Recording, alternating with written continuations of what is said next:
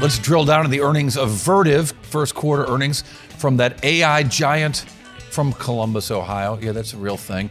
I'm Cory Johnson, Chief Market Strategist for Futurum Group. And Vertiv, so important, $32 billion company, growing by leaps and bounds reporting first quarter earnings. These guys build data centers, modular data centers, focusing on liquid cooling in particular. These guys do the work of AI by building the places where AI happens. So if you're watching this broadcast right now, you can call up Vertiv and get your own plug and play data center. You know, if you need one of those things, better call quick because it's taking a, a, long time to get those orders through. They are seeing all kinds of orders. Of course, Wall Street just focuses on beats and misses, and this is a beat, I guess. Sales of $1.64 billion, up uh, 7 8% year over year. Um, and they lost money barely because of an adjustment of warrants.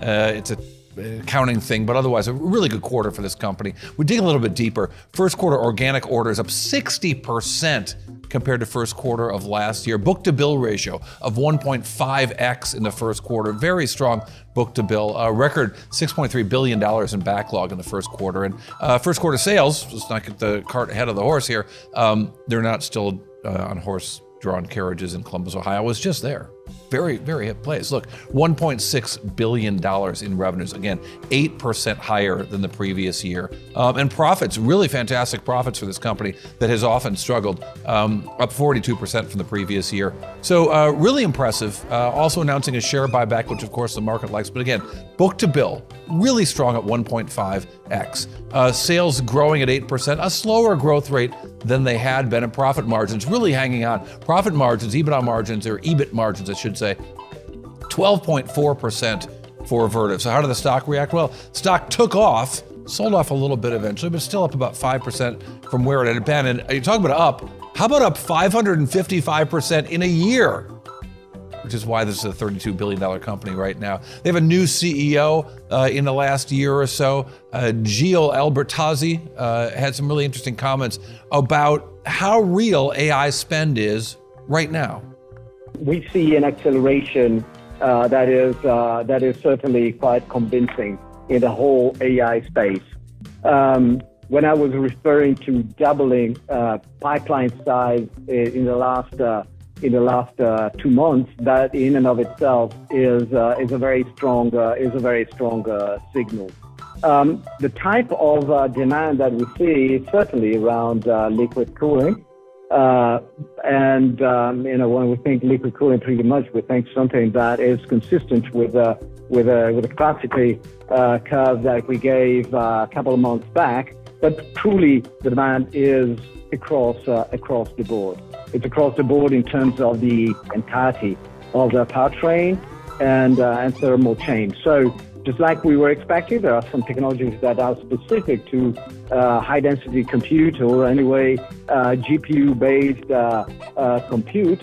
But there is, uh, you know, a, a, market a market demand expansion that um, is simply more megawatts being, the, being being deployed that is, is, is impacting the entire range. Again, it's not just one piece of the portfolio, it's the entire range.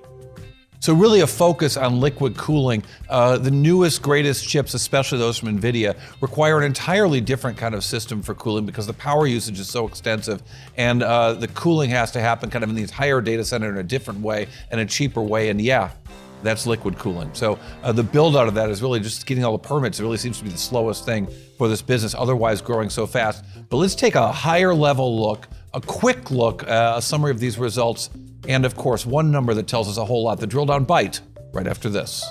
The drill down is brought to you by Futurum Group, where analysts, researchers, advisors, content creators, and marketing experts help business leaders anticipate and understand shifts in their industries and build strategies to leverage disruptive innovation.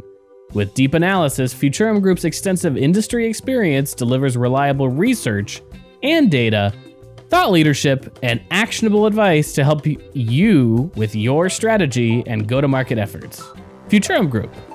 Everything you need to know in one minute about Vertiv's results for the first quarter. Of course, the stock's up 555% for a year, so you want to pay attention to this one.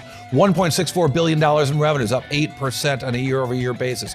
Really strong book to bill growth. profitability like they've never seen before and, and kind of hanging in there. Uh, and just permitting is the only issue slowing these guys down. They are taking orders like crazy. How much? Here's your one number that tells us a whole lot 60% order growth. Very bullish for Vertiv. It probably is why the stock is up even further today. All right, thanks for listening to Drill Down Earnings. Check me out at X, at Cory TV, at TikTok and Instagram, Drill Down Pod, and the Futurum Group for robust takes on the latest tech earnings. Drill Down Media, part of Six Five Media.